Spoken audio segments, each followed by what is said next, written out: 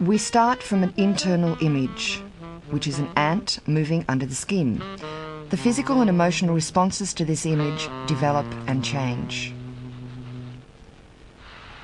This exercise can last anything from 15 minutes to an hour, depending on the group. It is done in silence, and in order to achieve a maximum physical and emotional experience, the emotion is contained within the body and not released.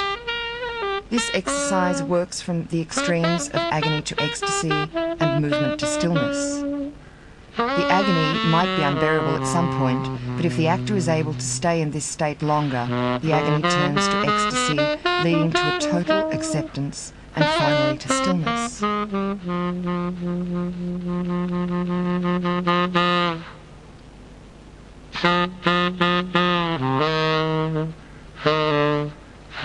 Mm-hmm.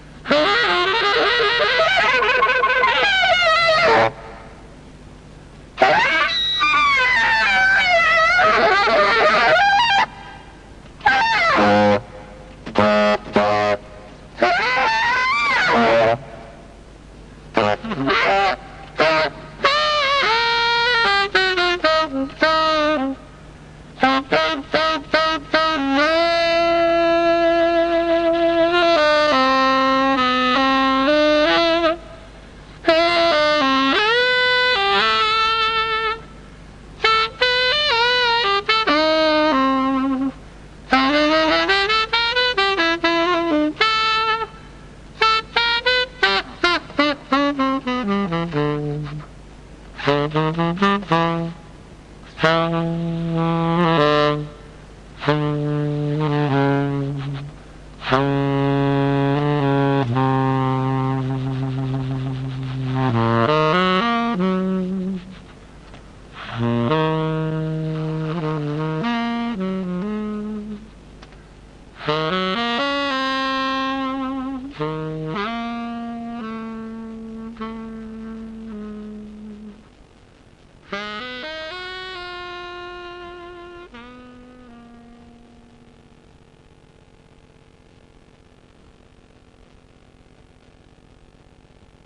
The face is used as a mask, working from the smallest to the largest expression.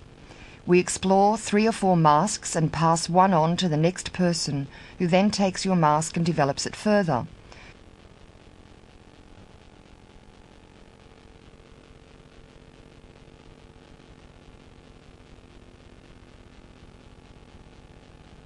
The mask is taken to extremes using only the facial muscles with no emotional context.